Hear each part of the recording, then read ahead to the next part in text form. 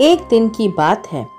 बादशाह अकबर के राजसभा में एक ज्ञानी पंडित आया हुआ था। वह कुछ सवालों के जवाब बादशाह से जानना चाहता था, लेकिन बादशाह के लिए उसके सवालों का जवाब देना मुश्किल हो गया था। इसीलिए उन्होंने पंडित के सवालों के जवाब देने के लिए बीरबल को आगे कर दिया। बीरबल की चतुराई से सभी वाकिफ थे और सभी को उम्मीद थी कि बीरबल पंडित के हर सवाल का जवाब आसानी से दे सकते हैं।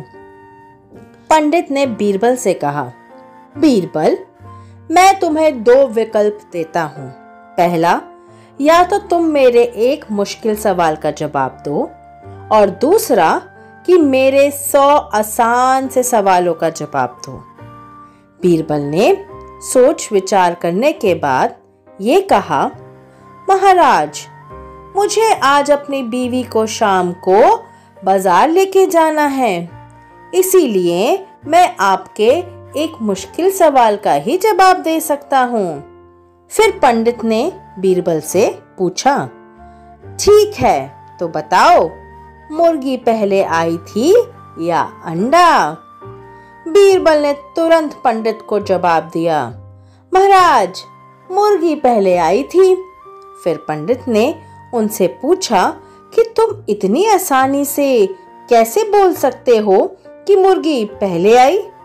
इस पर बीरबल ने पंडित से कहा कि यह आपका दूसरा सवाल है और मुझे आपके एक ही सवाल का जवाब देना था। ऐसे में पंडित बीरबल के सामने कुछ बोल नहीं पाया और बिना बोले ही दरबार से चला गया।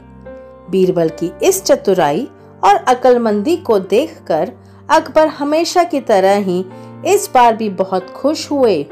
इससे बीरबल ने साबित कर दिया कि बादशाह अकबर के दरबार में सलाहकार के रूप में बीरबल का रहना कितना ज़रूरी है।